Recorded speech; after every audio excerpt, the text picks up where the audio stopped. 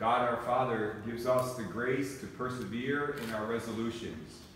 Let us pray to him for this handmaid of his, who is resolved to renew her vows today in the presence of the church. Lord, in your providence, you have called this handmaid to follow your Son more closely. Mercifully grant that she persevere to the end along the way of your love, on which she has set out with such joy. We ask this through Christ our Lord. Amen.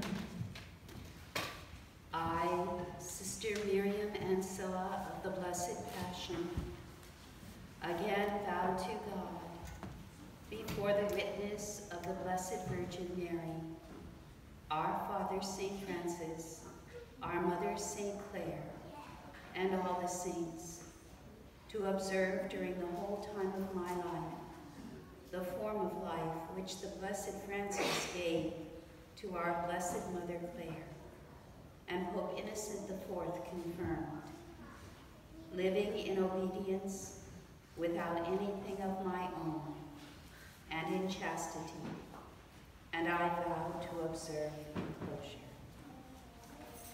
And I, on the part of Almighty God, promise you, if you keep this, life everlasting. Amen.